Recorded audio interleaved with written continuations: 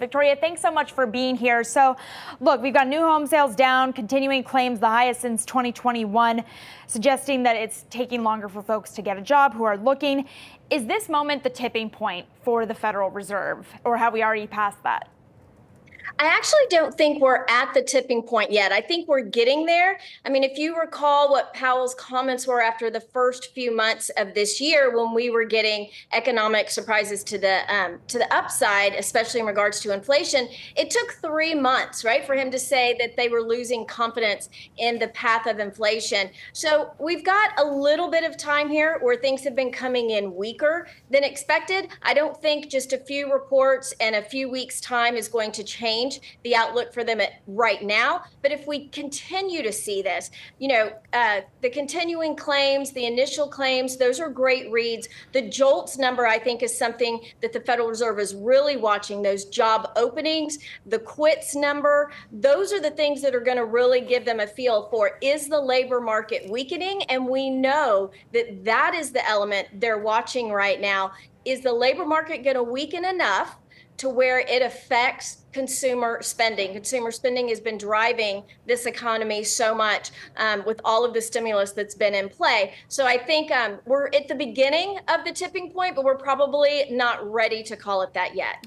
Victoria, should we be placing more emphasis, or I guess is the more critical report, is it going to be that next jobs print rather than the upcoming inflation prints?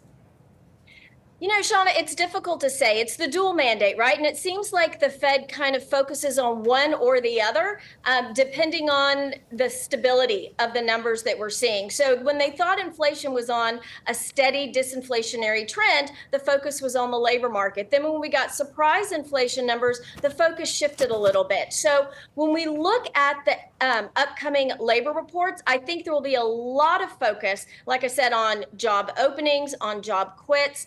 Um, there's a lot of volatility that goes in just the, the monthly number and a lot of seasonality adjustments that fit in there, especially in the summertime. Um, so they will be watching elements of that. I think consumer demand, the sentiment, the confidence numbers are going to be something they watch. And obviously, the inflation component is going to be key, not just overall inflation, but we know it's that super core inflation that they're really watching. Um, so all of that is going to be important for the decision makers. Victoria, I want to get your take on the broader equity space because you put it out really plainly. You just say you can't stand in the way of the train. Given that you have to be in tech to some degree to bank on this market rally right now, where are you finding an edge? Yeah, so finding an edge might be a little bit difficult right now because there is such concentration in this market. I mean, you guys know that it's been five, six names that have really been driving all of their performance this year. I mean, Nvidia alone is over a third of year-to-date performance for the S&P. Uh, the top five or six um, are closer to 75% of return. So you have to have exposure there. What we've been doing is trimming some of those names like Nvidia as they have their runs, waiting for pullbacks because we know they're going to have them. Nvidia had them this week. We saw some of the pullback there. So if you don't have exposure, you can um, have a chance to get in there. But look at some of those other tech names, maybe the the less sexy names that are out there, right? Some of the IBM names, um, some of the other names that maybe are trailing a little bit on these. Um, top heavy names but are still going to benefit overall i mean semis by themselves are the top performing sector um, year to date relative to the s&p but i also think you need to broaden it out a little bit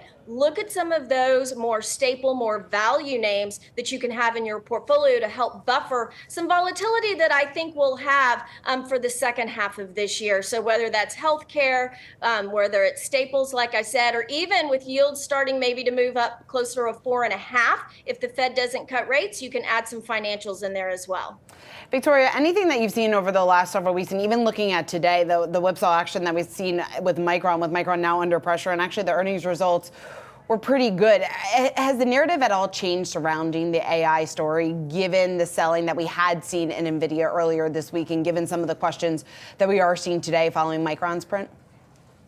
you know, Seana, you're right. It is this whipsaw. And I think that's the struggle that we have here. If you go all in one way or the other, that can easily come around and bite you in just a couple of days. So I think you have to look at the AI story as being a longer term story, but maybe start to look at some of the secondary effects in terms of what are some of the other companies that will come along and benefit um, from the AI story? Look, whenever we have this much concentration for performance in the index, following that, it's those lower PE names that really do well. But the question is, how long does that concentration period last? And with AI, it seems we still have a ways to go. I mean, Micron, their earnings were pretty decent. It was just that the outlook was a little bit less. And these days, if you're not far surpassing expectations, your stock comes down. But let's not get it wrong. I mean, we're up considerably in Micron over the last 18 months. So a 5%, 6% pullback um, isn't going to be that detrimental. But I think you need to be cautious um, of putting all your eggs in one basket for just those elements.